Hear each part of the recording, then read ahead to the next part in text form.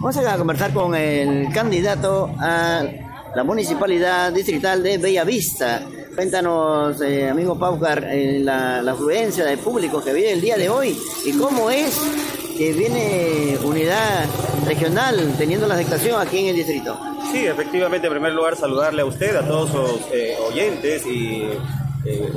público que lo sigue en esta página de La Verdad es Hecha Noticia. Desde la campaña inicial que realizamos hace dos meses en el Parque de Bellavista a la actividad que estamos realizando el día de hoy, hemos logrado captar una mayor cantidad de población que requiere, que tiene mucha necesidad de ser atendido en sus eh, afectaciones de salud física y salud mental, porque estamos atendiendo en todo lo que tiene que ver con las especialidades médicas, eh, pero también tenemos la especialidad de psicología.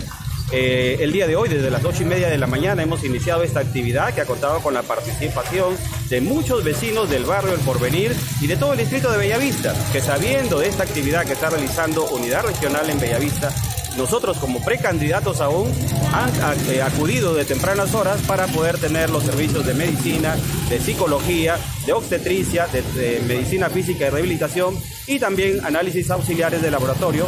todo con sus medicamentos para que la población pueda paliar en algo estas necesidades de salud que post pandemia se han incrementado. Más que todo,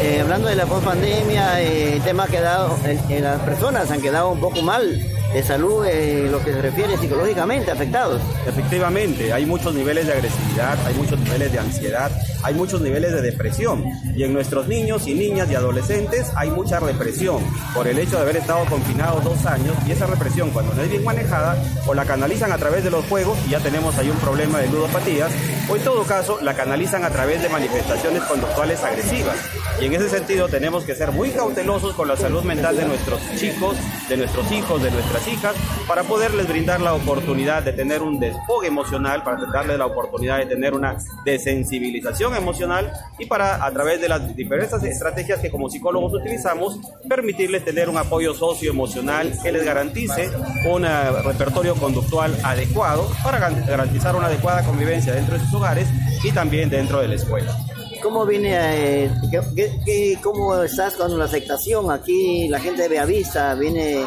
eh, aceptándote, te, te vienen siguiendo, te vienen uniendo como candidato al sillón municipal del distrito. Gracias a Dios la experiencia obtenida como regidor distrital en el año 1999 hasta el 2002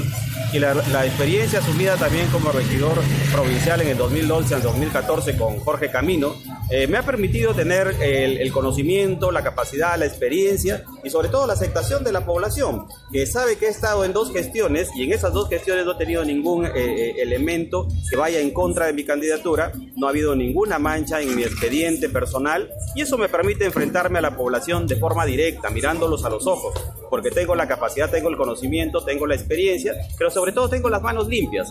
Y eso es lo que queremos en Bellavista, personas que tengan la capacidad, la experiencia y sobre todo la voluntad para poder hacer ese cambio que Bellavista se Más merece. que todo de una forma intachable, ¿no? Eh, Obviamente, porque nosotros lo primero que hemos inculcado a uno, cada uno de los precandidatos a regidores de nuestro movimiento, tanto distrital, provincial y regional, es que la campaña tiene que ser una campaña de propuestas, no una campaña de ofensas. Y desde este, desde este, desde este lugar donde estamos, aquí, en la calle Arena, segunda cuadra del barrio El Porvenir, invito a todos los candidatos a en, ingresar a un proceso de debate, de propuestas, una vez que estemos inscritos. Creo que es necesario que debatamos cada uno de los candidatos las propuestas que tenemos, la experiencia que tenemos, los conocimientos que tenemos, para poderle ofrecer a la población un abanico de posibilidades donde ellos sean quienes elijan y no se equivoquen cuatro años más.